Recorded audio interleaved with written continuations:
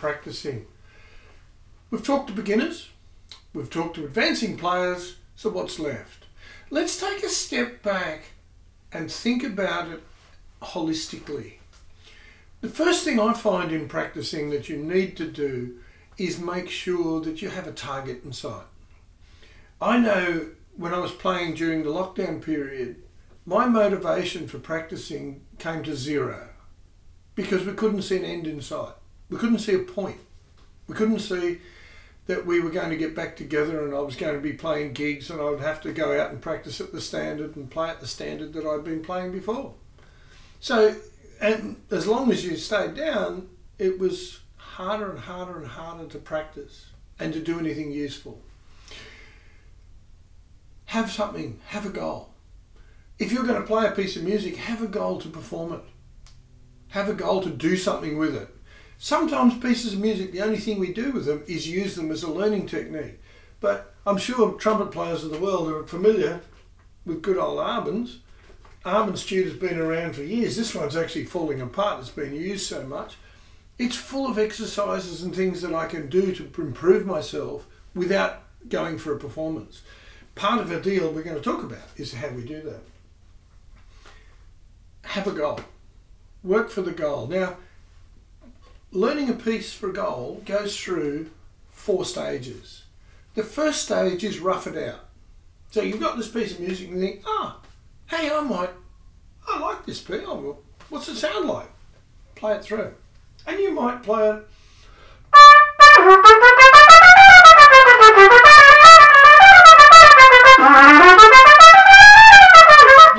and make a few thousand mistakes.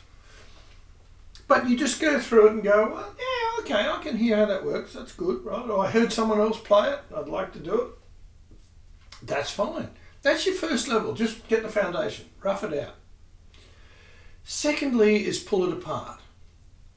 So I would rarely play, just get this piece and play it right through. I don't care.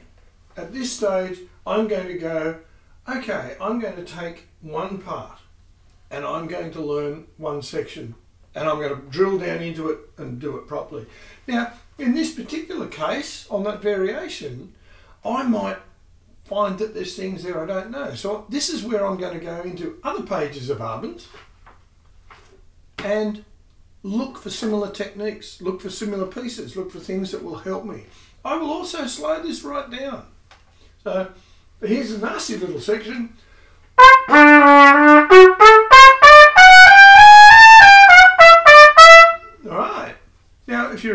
Video before I showed you how to build up onto that, that's exactly what I'm going to do.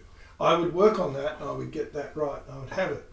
Again, I'm practicing what I can't do, not what I can. So it's improving my technique and it's improving my overall approach. It's really important. Third level of performance and preparation is put it all together. I've practiced that bit, I've practiced this bit, I've done all the little bits there, I've got them right, I've put all the techniques, put it in. Now's the time you play it all the way through. Now's the time when I start to put tempos in. Um, and then the final thing, and this is where a lot of performers slip up. When I've adjudicated, when I've worked and listened and all the rest, I find there's beautiful raw material. There's passion, there's emotion, there's performances, and it's beautiful, but it lacks something. It lacks soul, it lacks the polish that we need, and that's what we need to do is polish it. Polishing it means attending to all the details, the trills. Okay, this particular piece this is full of trills. Am I going to play them note down? Am I going to play them note up? Am I going to play them as a baroque trill or as a romantic trill or whatever? There's dynamics, and dynamics are the biggest thing that people forget. Particularly young players, drives me nuts. They play everything at one volume, and you go, there's life in here. Dynamics is the thing that creates the image, creates the picture, and yet we ignore it. I mean, there's sections in here, and there's, by the way, there's no reason why you have to stick just to those dynamics. They're there for a reason, but you can put that extra dynamics in. I was in a workshop a couple of years ago with Frank Ticheli, a concert band composer. Brilliant. And the passion working with him was just enormous, it was incredible. But he was asked the question when you compose, when you put it on paper, how much of what's in your head goes on paper? And everyone was expecting him to say, oh, 100% because I'm brilliant. And he turned around and he went, no. He said, about half, about 50% makes it onto paper. In other words, if you play everything on this page absolutely by the book, you're only half done. That's when polishing comes into it. Polishing is the other 50%. It's about making it into something. You've got it, it's written dolce here, peacefully, quietly.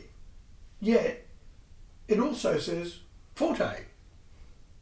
Now, I would not play that as a forte. I would back off. And, I mean, I could play it like this.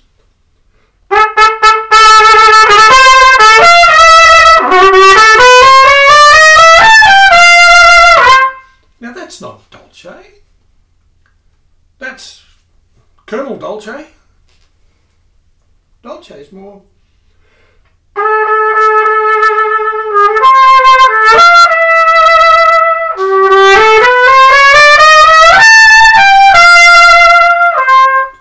That's not written. That's how I interpret it. And that's the key here is put that polish on. And that's the critical thing. So the four sections we have, rough it out. Have a look at it decide you're going to do it.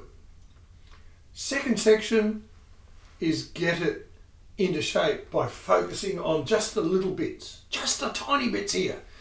Take it apart. You know, see how it works, see what happens. Particularly things like air and variations. Variations are always must have some reference to the theme. So the theme is critical. If you know that theme, you can then seek it out in the variation and how do you keep it put it all back together and make it work. And finally, polish, polish, polish. Polishing can also include putting in all those extra bits, as I've said. It can also be learn the piano part.